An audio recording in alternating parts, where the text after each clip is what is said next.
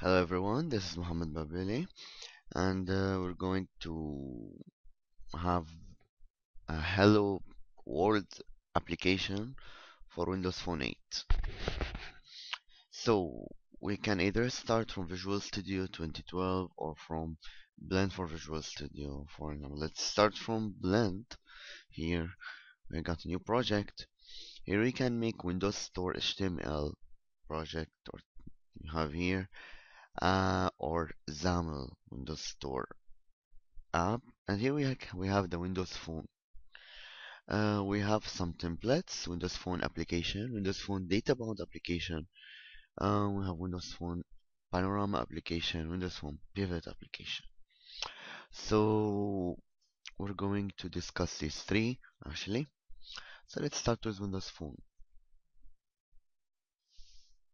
So we call it this or hello world.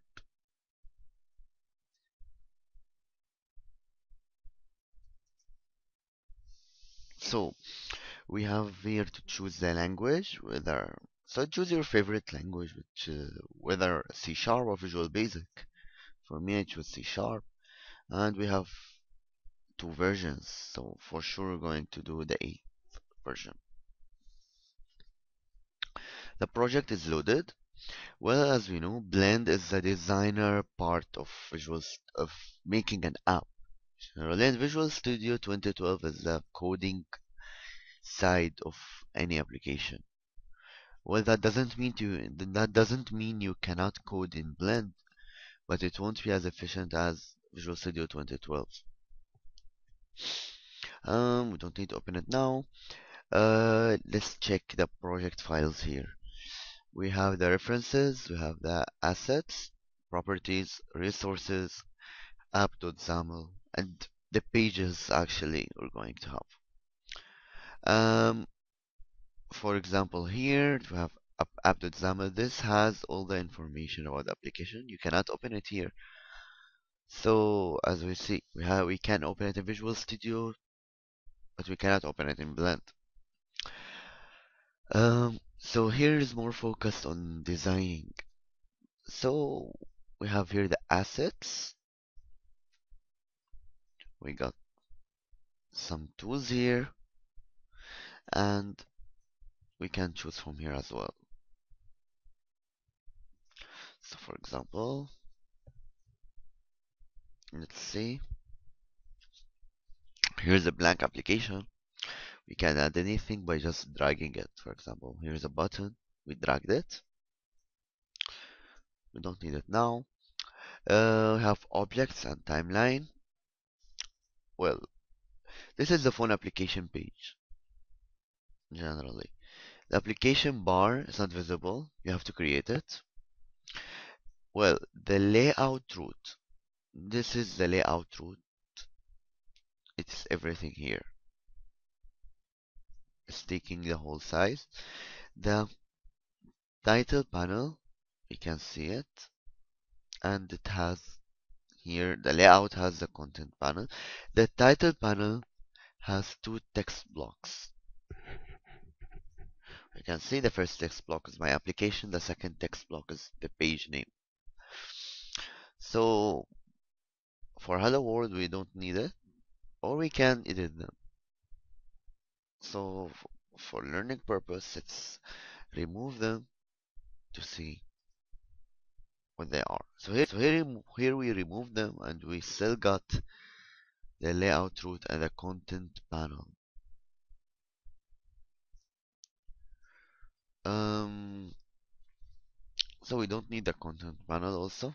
We just have the layout root. Um, so, so here we have a blank app, full blank app. And that doesn't mean we can't take off the layout root, also we can take it off also.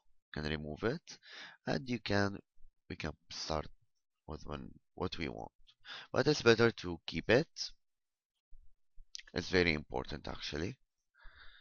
It's a grid tool actually it's not just a it's not the layout root it's just named as layout root but it's a grid actually Um, well, we can drag anything we want. So, for example, let's, uh, we have text box, we have text block, we have images. So, since it's a Hello World app, we have a text block. We drag that. Hello. Mm, I think there's something wrong with Word. Yes, Word. Here we go.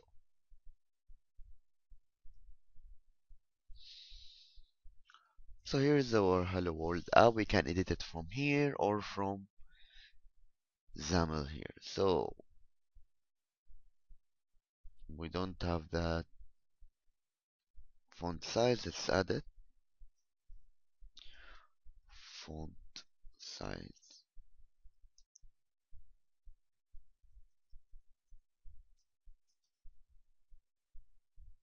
Font size. And for example, here is 20. We can make it 40. And let's see the change.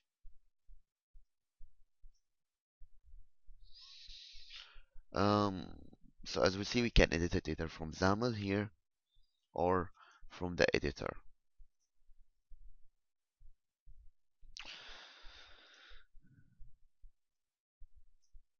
So let's go back to the designer. Here is the Hello World application. Here, a Hello World blank application. Um, well, we just have to use a compiler, choose a display theme, have the light theme, which is used. Uh, it's it drains the battery actually, but it's used when there's a lot of text. But for now, let's use the dark. Actually, most applications come with the dark theme, compatible with the dark theme. Uh, deploy target, we have four emulators, and we can also, if we have a Windows phone device, we can choose it. Uh, okay, to compile it, we have just to run the project and we see the compiler now.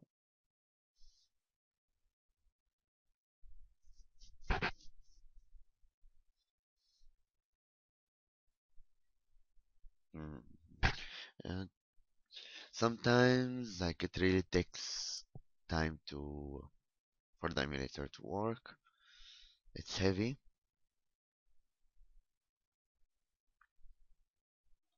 Well, we can also move our project to Visual Studio from Blend. As we'll see after we check the application.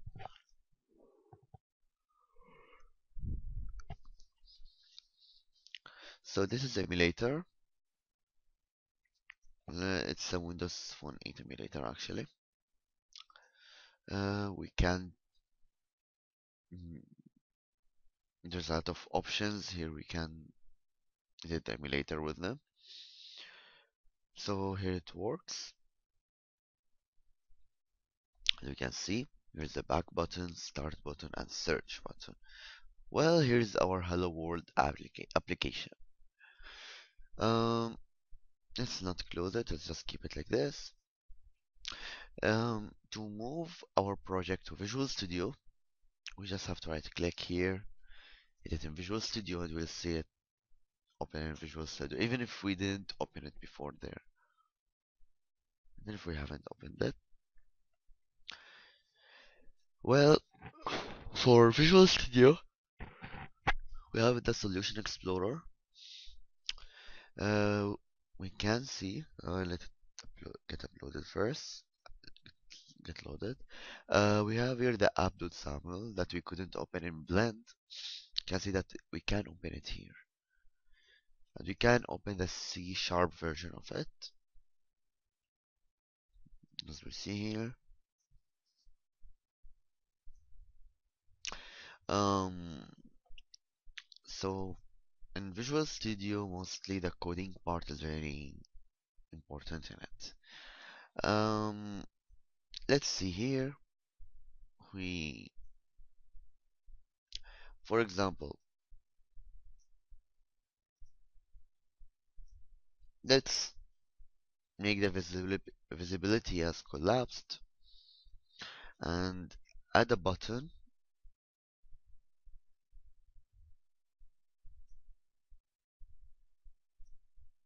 and we name the button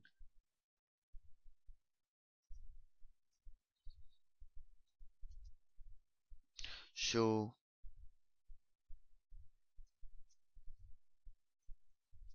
Hello world.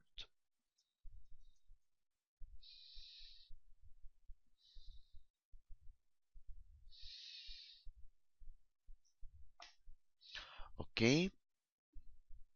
Here we go oops sorry. Um so we made this. Let's move it to Visual Studio as we can see. Uh, if we go to the main page we can see this. So we're going to do some C sharp here to show the text.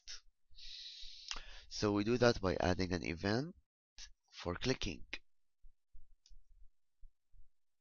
so we double click on this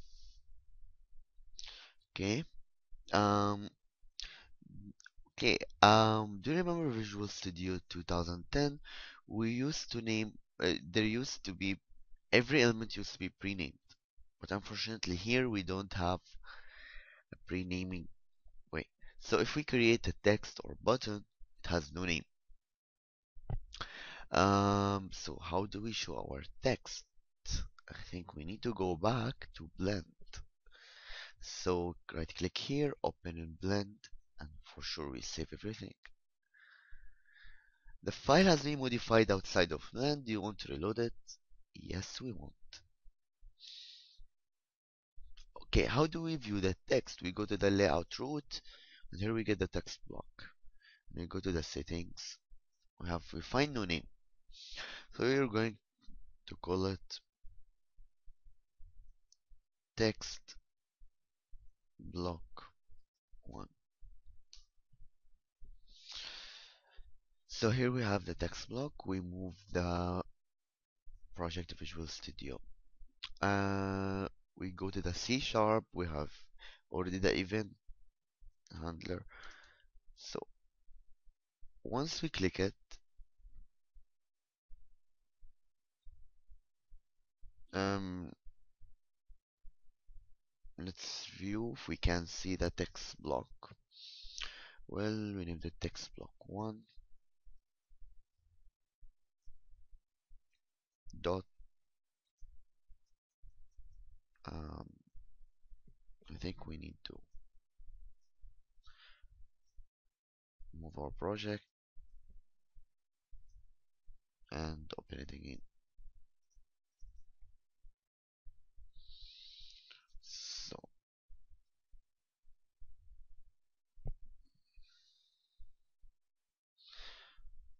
I think there is some problem.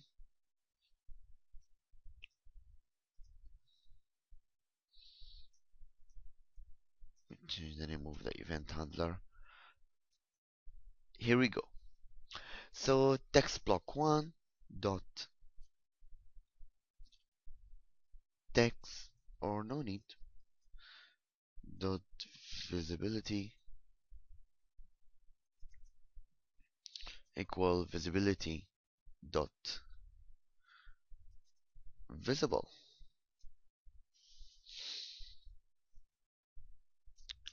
Let's build it. You can see the build succeeded. And here we turn emulator here. Here here we compile it and let's see now what will happen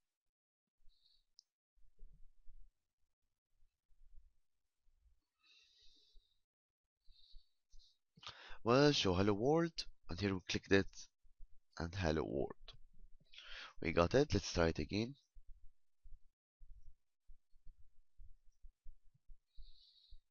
so I think I you can see now the difference between Blend and Visual Studio. In Blend, oh, here we save it. We save what we did. Visual Studio is focusing more on coding, and you can view everything about coding here, but you can't in Blend. Uh, I also want to show you something. In Blend, um, if you click text block, you won't see, uh, you won't, Blend won't recognize it, but in Visual Studio it will recognize it, as we can see. Uh, so actually Blend's focusing more really on design, but for that, Blend with XAML coding, Blend is useful actually because it's related to the design. XAML is the code of the design. So you won't have any problem. It would be actually better to code XAML here than C Sharp. So I think I explained enough about it. So here we finish the part one. We're going to check the Panorama app and Pivot app in the other parts. Thank you very much.